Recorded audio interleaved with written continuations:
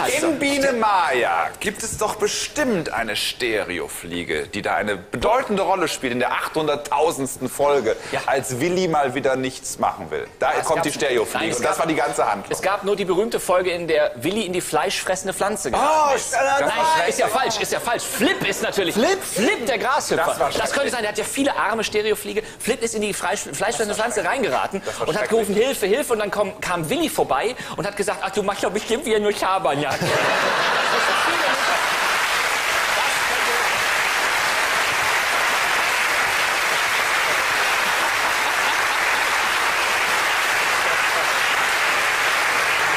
Das war sehr schön, aber wir wissen